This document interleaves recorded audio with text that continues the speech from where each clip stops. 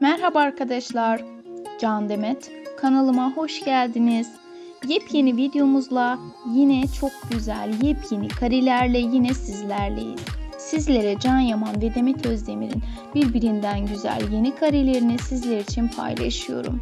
Can Yaman ve Demet Özdemir'in birlikteliğini Erkenci Kuş dizisi döneminden herkes onların bir araya gelmesini ve birlikte olmasını istedi.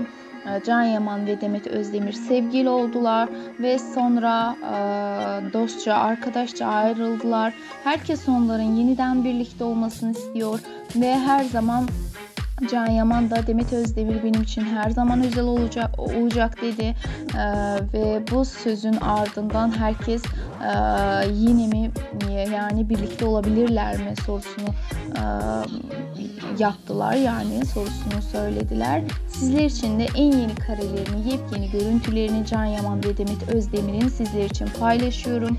Can Yaman ve Demet Özdemir'in tarzları da aynı e, ve gittikleri